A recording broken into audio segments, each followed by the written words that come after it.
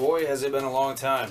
Um, I'll get into detail a little bit more on another video what's been going on in my life, but it's been pretty crazy. So, apologies for uh, being pretty delayed here.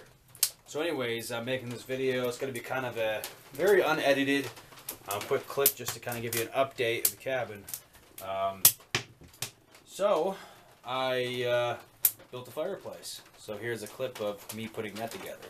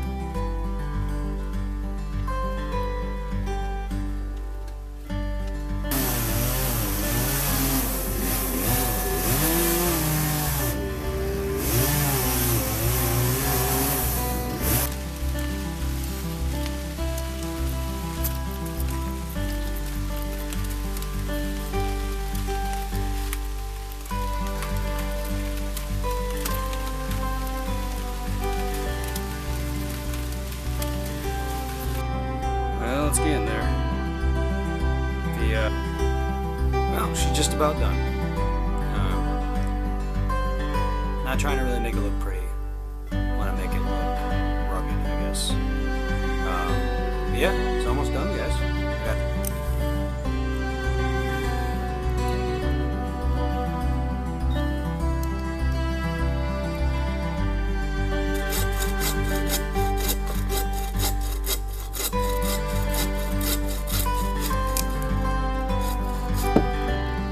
Now, you see in here,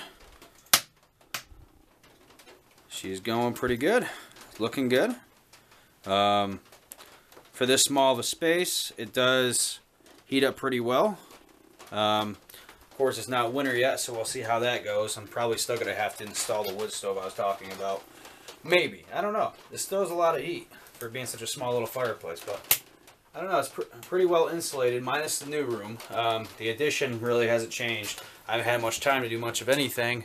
Uh, that's still just pretty much an empty box with a bed in it. I got to put some insulation in there yet. Um, that definitely needs to be done before winter. And another thing I've been also working on is a uh, rainwater collection system. So as you can see, I have a, a, little sink right here. I say little, it's actually kind of too big for the cabin, but I got it for free, so I can't complain. And um, you can see that's just PEX line that I ran through. You can see it um, under the window here. See I ran it across, down, into the back, and then I have it collecting um, off the tin roof into it's only a uh, 200 gallon drum, not very big. But essentially the water is just going to be used for washing your hands, doing some dishes, etc, etc. I'm going to add a um, actual um, big jug in here. I'm not sure how many gallons there. Are, you know, the big blue ones uh, for my drinking water. So this isn't really going to be used for much more than just washing your hands, um, brushing your teeth, and, you know, doing dishes, simple things. And, and uh, the other will be for my actual cooking and drinking water. But, uh, what else did I want to show you here? Yeah, so anyways, the, the line runs out to the back. And this right here, this is just a simple setup here with just a SharkBite that focuses. It's a SharkBite here. See if I can do this one-handed here. So I just twist this.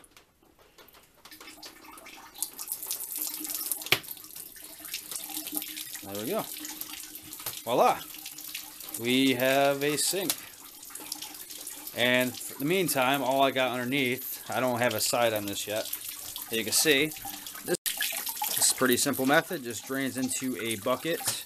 Um, eventually, I do plan on running a PEX line out of a bucket here, out through the wall uh, for drainage. Uh, but for now, just simply pull the bucket out when I'm done.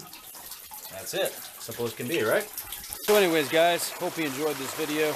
And uh, I'm going to try my best to be more on top of this and put out more videos, hopefully weekly.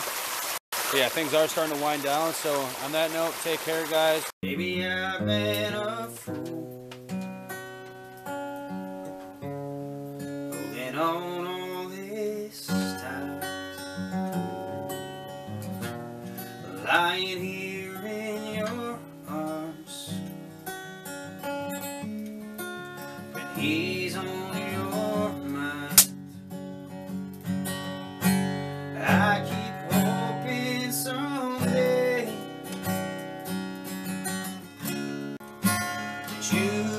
see the light when you hold me tonight? And don't close your eyes. And don't close your eyes.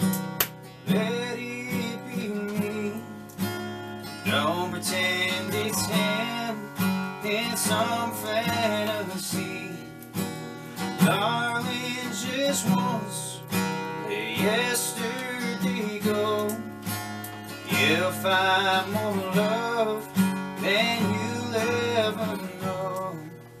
Just hold me tight when you love me tonight.